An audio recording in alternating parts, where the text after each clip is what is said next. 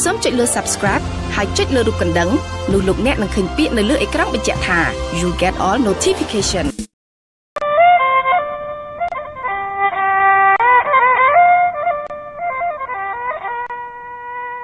សួស្តីអស់លោកអ្នកនាងជាទីមេត្រី នៅក្នុងនីតិស្វែងយល់អំពីប្រវត្តិសាស្ត្រនៃប្រទេសកម្ពុជានាវេលាថ្ងៃនេះសូមអញ្ជើញលោកអ្នកនាង តាមដានស្ដាប់ការទទួលអត្តពលឥណ្ឌាលើកទី1 សូមអញ្ជើញអស់លោកអ្នកនាងតាមដានស្ដាប់ដូចតទៅ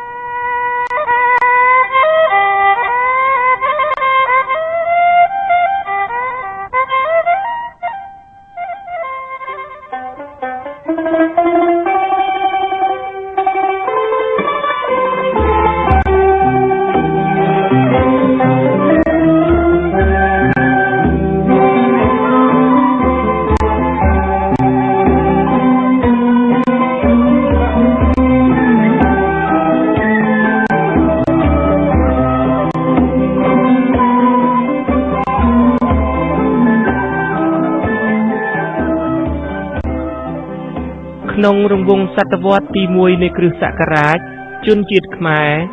ដែលតាំងពីយូរលង់ណាស់មកហើយធ្លាប់មានទំនាក់ទំនងជាមួយអ្នកដើរសមុទ្រជាតិឥណ្ឌាដែលភាគច្រើនជាអ្នកជំនួញនិងពួកព្រាហ្មណ៍ក៏បានទទួលឥទ្ធិពលជាបន្តបន្ទាប់ពីពួកឥណ្ឌាទាំងនោះគ្មានអ្វីគួរឲ្យសង្ស័យឡើយវប្បធម៌និងសាសនានៃប្រទេសឥណ្ឌាបានคล้ายជាវប្បធម៌ និងសាសនារបស់វណ្ណៈអ្នកដឹកនាំខ្មែរចំណែកប្រជាពលរដ្ឋជាទូទៅវិញ រហូតមកដល់សប្តាហ៍ថ្ងៃនេះហើយ នៅតែមានជំនឿទៅលើព្រលឹងដូនតាគោរពបូជាអរុក្ខអរិយអ្នកតាម្ចាស់ទឹកម្ចាស់ដី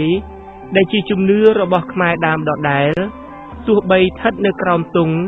ឬរូបភាពព្រះពុទ្ធសាសនាក៏ដោយម្យ៉ាងទៀត គឺដោយសារការទទួលឥទ្ធិពលឥណ្ឌា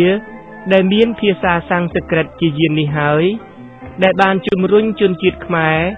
ឲ្យចាប់ផ្ដើមសម័យប្រវត្តិសាស្ត្រជាតិរបស់ខ្លួននាដើមសតវត្សទី1នៃគ្រិស្តសករាជនេះ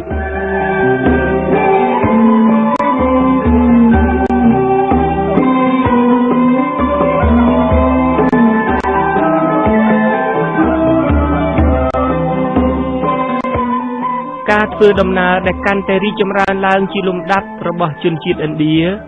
មកកាន់តំបន់សវណ្ណភូមិនេះដើមហេតុសំខាន់គឺការមកធ្វើជំនួញជួញដូរខាងសេដ្ឋកិច្ច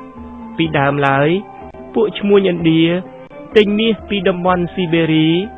ដែលពួកទូចរធ្វើដំណើរដោយរទេះពីឆ្ងាយឆ្ងាយមកលក់ឲ្យដោយឆ្លងកាត់តំបន់បាក់ទ្រីយ៉ានប៉ុន្តែប្រហែលជាពីសតវត្សមុនគ្រិស្តសករាជ ដោយមានការរំជើបរំជួល ក្នុងចំណោមជនជាតិផ្សេងផ្សេងនៅភូមិភាគអាស៊ីកណ្ដាល បានធ្វើឲ្យផ្លូវនេះត្រូវកាត់ផ្ដាច់ធ្វើគមនាគមន៍តទៅទៀតលែងកើតក្រោយមកគឺនៅក្នុងអំឡុងសតវត្សទី1នៃគ្រិស្តសករាជពួកឥណ្ឌាក៏ធ្វើដំណើរបែរទៅទិសខាងលិច ហើយបានទិញនិងដឹកជញ្ជូនមាសពីពិភពរ៉ូម៉ាំងក្នុងនោះមានទាំងកាក់មាសដែលគេបានរំលាយ ហើយបោះពុំជារូបិយវត្ថុជាប្រាក់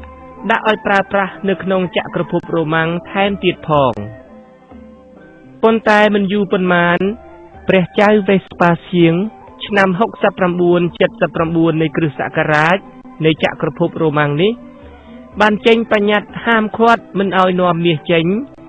ដែលជាប្រការបង្ខំឲ្យពួកឈ្មួញឥណ្ឌាស្វែងរកប្រភពទិញមាសពីកន្លែងដទៃផ្សេងទៀត។ ទីបំផុតពួកនេះក៏បានធ្វើដំណើរបែរមករកតំបន់សវណ្ណភូមិនេះ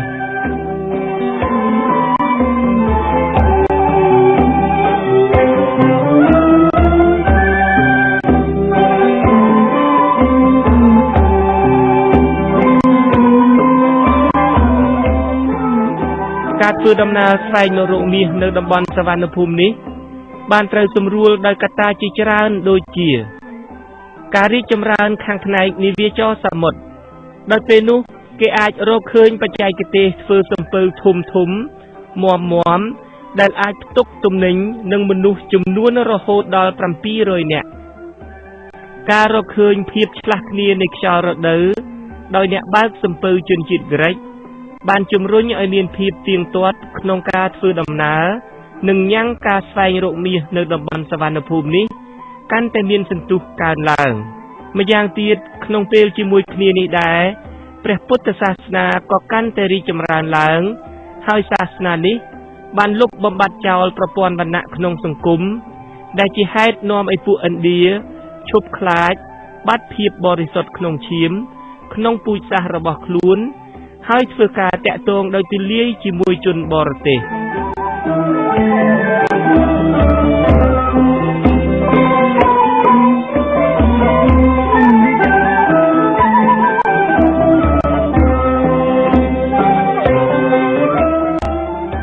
យមកពួកឈ្មួញឥណ្ឌាទាំងនោះ បានមកបោះទីតាំងដោយបានបង្កើតជាហាងលក់ទំនិញឬសាខាគ្រឹះស្ថានជំនួញរបស់ខ្លួន ក្នុងដែនដីសវណ្ណភូមិហើយជាបន្តបន្ទាប់បានប្រើប្រាស់គ្រឹះស្ថានទាំងនោះ ជាមជ្ឈមណ្ឌលផ្សព្វផ្សាយនយោបាយនិងសាសនារបស់ខ្លួន ហើយបានជះឥទ្ធិពលយ៉ាងខ្លាំងទៅលើពួករដ្ឋរាសីគឺជាជនជាតិម្ចាស់ស្រុកមិនត្រឹមតែប៉ុណ្ណោះទេ ដើម្បីពង្រឹងនិងពង្រីកឥទ្ធិពលរបស់ខ្លួន ពួកនេះ បានរឹតចំណងចងស្ពានមេត្រីរៀបចំអាពាហ៍ពិពាហ៍ចម្រុះជាមួយពួករដ្ឋរាសីម្ចាស់ស្រុក ដើម្បីបង្កើតចំណងតាក់ទងជាគ្រួសារយ៉ាងជិតស្និទ្ធថែមទៀតផងជាក់ស្ដែង គឺអាពាហ៍ពិពាហ៍បែបនេះហើយដែលបានបង្កើតឡើងនៅសន្តតិវង្សដំបូងបង្អស់របស់ព្រះរាជាណាចក្រកម្ពុជាយើងនេះ